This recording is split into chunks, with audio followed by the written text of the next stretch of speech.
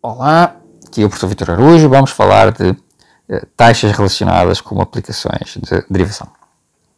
Considerem este, eh, este exemplo, este problema, eh, como um exemplo de aplicação. O ar é bombeado para dentro de um balão esférico a uma taxa de 5 cm cúbicos por minuto. Determina a velocidade com que o raio do balão cresce quando o diâmetro do balão é de 20 cm. Ok? Então, me dá uma informação, uh, diz que o ar é injetado dentro do balão né, a uma taxa de 5 cm por minuto, o balão é perfeitamente esférico, é redondinho, é uma esfera, e eu quero a velocidade com que o raio do balão cresce quando o diâmetro do balão é de 20 cm. Portanto, ele cresce a uma certa velocidade, né, quando estou injetando o ar no balão. Eu quero saber qual é essa velocidade de crescimento do raio do balão quando o diâmetro é de 20 cm. Nesse momento, qual é a velocidade de crescimento do raio? Ok? Então, vamos ver. Nós somos informados que o volume V de um balão cresce a uma velocidade de 5 cm por minuto. Ou seja, V como função do tempo tem uma derivada, V de t, igual a 5. Mas o volume do balão e o seu raio são funções do tempo. Ok? E eu sei que o balão é esférico. Então, o volume do balão é 4 terços π vezes o raio ao cubo. É a fórmula de Arquimedes para o volume de uma esfera. Ok?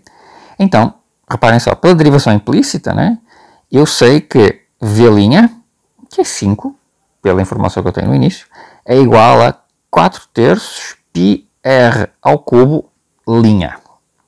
Ok? Mas o, o, o, R é uma função de t, o raio é uma certa função de t, que eu não conheço, mas eu sei que é uma certa função de t. Então a derivada implícita, a derivada desta expressão, aqui, e se, pensando no R como função de t, é simplesmente 4 terços π r ao cubo linha, portanto é 3r ao quadrado vezes a derivada de r. O 3 vai cancelar com este denominador, fica com 4π r ao quadrado vezes r linha. Ok? Então, esta relação vai nos dizer o quê? Portanto, vai nos dizer, uma vez que o V' é 5, vai nos dizer que R' é igual a 5 sobre 4πr ao quadrado. Isto dá a velocidade da variação do raio em relação ao próprio raio. Ok? Portanto, quando o diâmetro é 20, nós temos que o raio é 10, né? porque o diâmetro é duas vezes o raio. Então, o, o raio é 10 e nesse instante, a relação anterior diz que o R', a velocidade de crescimento do raio, é 5 sobre 4π vezes 10. Okay? Então, 5 cm cúbicos por minuto, é 10 centímetros, né?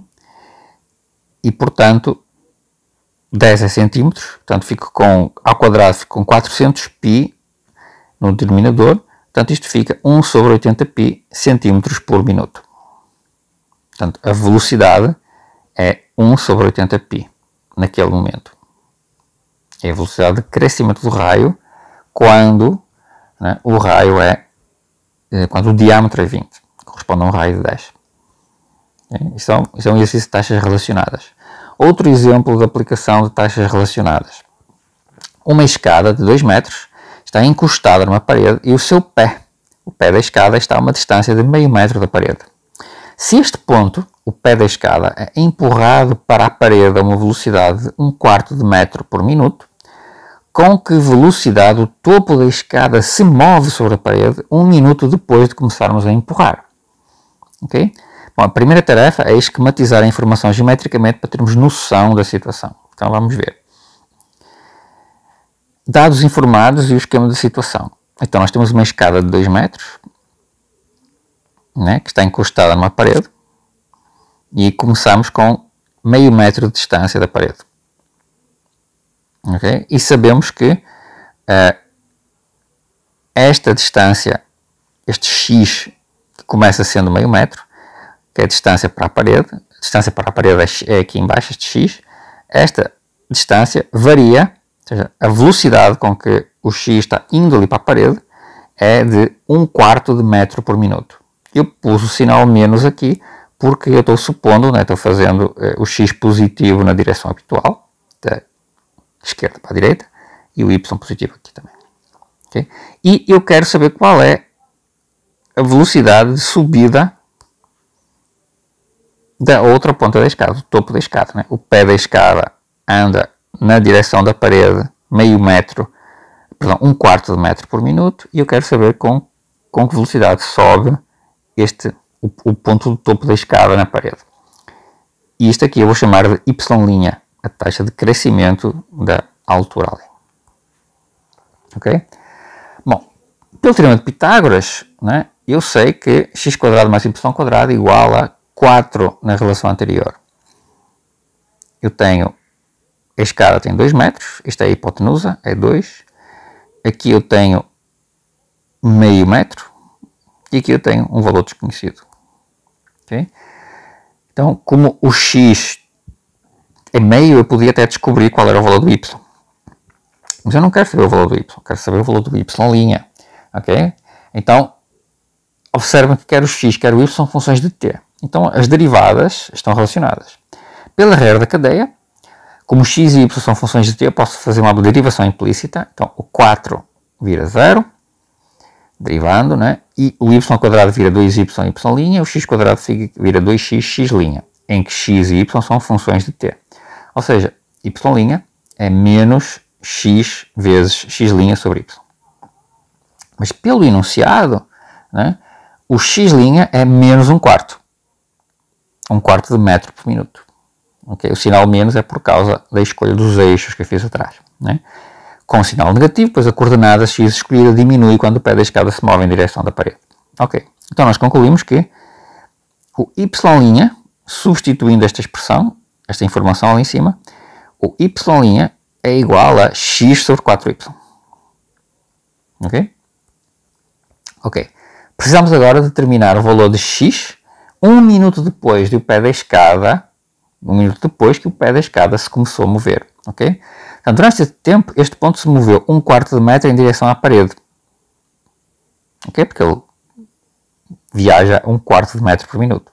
Portanto, o novo valor de x será meio metro menos um quarto de metro, é um quarto de metro. O valor correspondente de y, que é necessariamente positivo, é dado por esta relação que vem do Teorema de Pitágoras. 1 quarto ao quadrado, este 1 quarto que vem daqui, mais y quadrado igual a 4. Ou seja, y dá raiz de 63 sobre 4. Ok? Em metros. Ok? Isto é uma, uma conta simples de se fazer. Certo?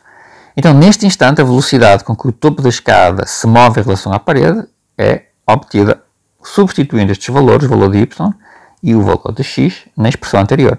y' x igual a x sobre 4y. A gente substitui e obtemos eh, a expressão 1 sobre 4 vezes raiz de 63 metros por minuto. Ok? E assim resolvemos o problema de taxas relacionadas. Em seguida falaremos de derivadas de ordem eh, superior, também conhecidas como derivadas sucessivas.